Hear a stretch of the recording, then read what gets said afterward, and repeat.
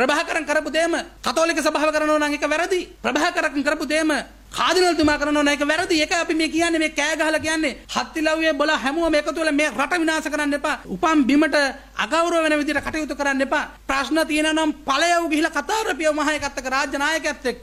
දැන් පහත් කරගන්න. දැන් මම දැක්කනේ ඕක.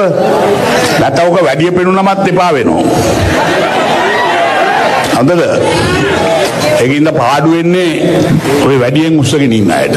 එක්තරා තරුණේ මේ වර්තමාන ආණ්ඩුව ජනාධිපතිවරයා බලයට පැමිණීම සඳහා පාස්කු ඉරිදා ප්‍රහාරයේ භාවිතා කළේය කියන මේ ප්‍රකාශයක් ප්‍රකාශ කරලා ඒ විදිහට පදනම් විරහිත ප්‍රකාශයක් කරලා ඔහු අරගෙන ආවා ප්‍රශ්න කිරීම සඳහා පොලිසිය වෙත. ඒ වෙලාවේදී ඔහු සමග කතෝලික පූජකවරු දෙන්නෙක් පැමිණියා. ඔවුන් එදා LTT යුද්ධ අවස්ථාවේදී LTT එකට පක්ෂව සංවිධානය වෙච්ච සංවිධානවල සමාජිකයින්. පොල්මාද බඩුවක් මේ මිනිහත් කෙලගෙන කෙලගෙන මේ මේ පිස්සෝ වාඩි කරලා හාල් එකසිය විස්සයි නෑ සීනි දෙසීයයි. පරිප්පු එකසිය විස්සයි මස් කෑල්ල කන්න නෑ පාරේ යන්න නෑ මොකද්ද මේ රට?